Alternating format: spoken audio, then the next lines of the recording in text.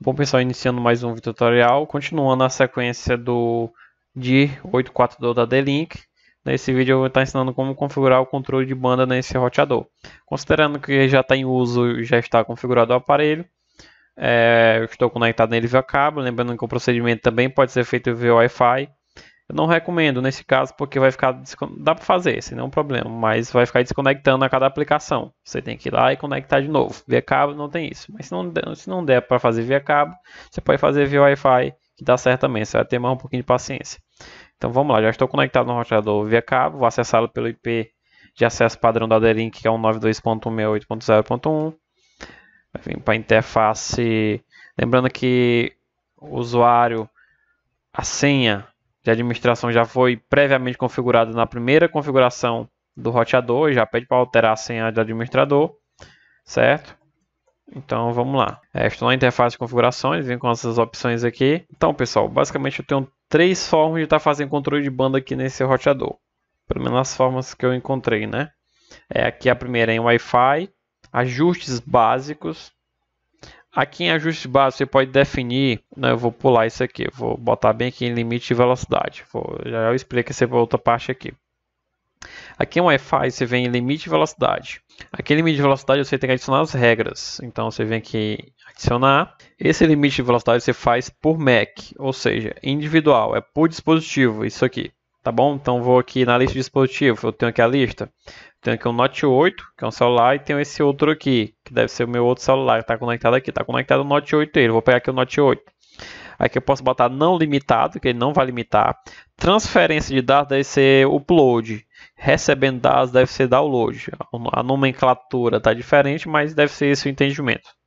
Tá bom? Upload, download. Vou... Aqui você pode colocar em megabits a velocidade que você quer limitar. Por exemplo, se eu tenho 100 MB nesse roteador, vou limitar aqui para esse celular 20 MB, aí boto 20. Aí de download, 20 MB, aí boto 20. Aperto em salvar, pronto, a regra foi aplicada. Reparem que a taxa de upload, é, deixa eu ter a certeza bem que eu vou botar a taxa de upload 20 e download 30. Ó, é isso mesmo, taxa de upload em megabit 20 MB e taxa de download em megabit 30 MB, tá bom?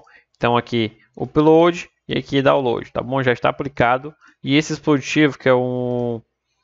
Deixa eu ver aqui, não dá para ver agora, mas é o Note 8, já está aplicado com 20 MB de download, aliás, 20 MB de upload e 30 MB de download. Já está limitado para ele essa velocidade, não vai passar disso, tá bom? Posso adicionar mais regras aqui individuais. Eu pego aqui o outro aparelho, o Note 8 já foi. Pego esse outro aqui, boto aqui 20 MB download, 20 MB de upload, 20 MB download. Aperte salvar, pronto. Já tem dois dispositivos na regra. O Note 8 e o outro aparelho, um com 30 MB download e outro com 20 MB. Então já está limitado para eles individualmente essas bandas. Então é, esse é o controle de banda feito individualmente nesse aparelho. Eu vou excluir isso aqui, não vou aplicar isso aqui ainda. É, excluir, pronto. A lei já estava aplicada, excluir já desfez a regra que está todo mundo com velocidade liberada. A outra forma de estar tá fazendo o controle de banda é aqui em ajustes básicos. Esse controle de banda é feito pela interface wireless. Ou seja, tem bem aqui, ó, 2.4, ele tem aqui a rede Wi-Fi, né? E tem bem que ativar limite de velocidade. Como é que é feito esse limite de velocidade aqui? É o seguinte, é em megabit. Se eu tenho 100 mega, eu vou limitar aqui para minha rede 2.4 50 mega. Pronto, vai ficar limitado em 50 MB toda a rede 2.4. E os dispositivos vão dividir entre si essa velocidade. Certo? Se tiver 2, 3, 4, 5 aparelhos, vão dividir entre si 50 MB. Se tiver só um aparelho, vai usar os 50 MB sozinho. Se tiver vários aparelhos, vão dividir entre si essa velocidade. Eu posso limitar a velocidade que eu quiser em megabit. Boto aqui 20 megabit na interface 2.4. Posso limitar. Aperto aqui em aplicar. Já foi. Apliquei 20 MB na interface 2.4.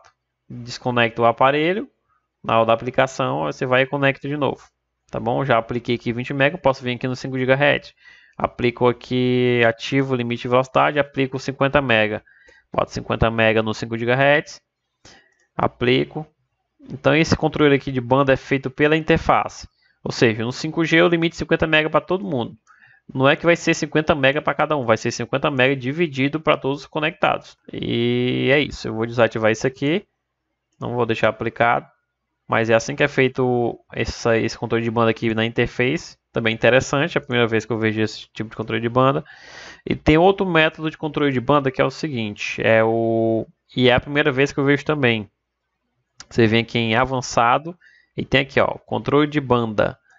Aqui em controle de banda você faz fazer a limitação por porta Ethernet. Que interessante, né? É a primeira vez que eu vejo num aparelho roteador doméstico esse tipo de configuração. Então que eu posso tanto limitar a banda da WAN quanto a banda das portas LAN. Ó, exemplo. Eu estou com o cabo de rede conectado no roteador. Estou conectado na LAN 3. Essa é a porta que eu estou conectado nele aqui. Eu vou fazer um teste bem aqui de velocidade, só para ver quanto é que vai dar.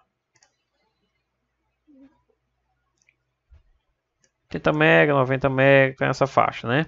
Pronto. Tá nessa faixa aqui de velocidade. Estou na LAN 3, eu vou pegar bem aqui a LAN 3, vou ativar o controle de banda nela. Agora aqui tem um detalhe interessante, eu tenho que abrir a calculadora porque não é feito em megabits por segundo, como nas outras configurações de controle de banda. Aqui é feita em kilobits por segundo, então já tem que ser feito um cálculo diferente aqui, não é tão simples. É, apesar de os valores serem arredondados para o valor mais próximo suportado pelo rádio, tem que ser feito esse cálculo aqui também.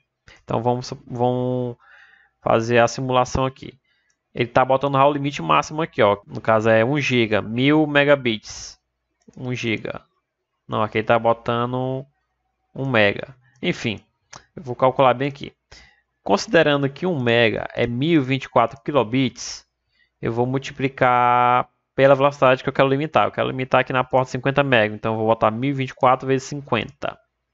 Pá, vai ser 51.200. 51.200. Ó, 1 mega é 1024 kilobits. Então vou limitar 50 mega na porta, vai dar 1024 vezes 50. Pronto, essa aqui vai ser a velocidade de 50 MB para eu limitar aqui na porta Ethernet do roteador. Tá bom? Vou salvar bem aqui. Apliquei e vou vir no teste de velocidade aqui, ó. Vou, vou ver aqui o teste agora, ó. Vamos ver que não vai passar de 50 MB.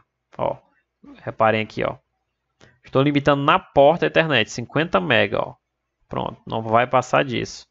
É, pessoal, então é isso. É esse controle de banda é feito dessa forma. Eu vou aplicar, eu consigo aplicar em todas as portas é, esse controle de banda, eu posso aplicar até na One também essa limitação. Pego aqui, aplico e, e salvo essa limitação do controle de banda. Vou desativar aqui.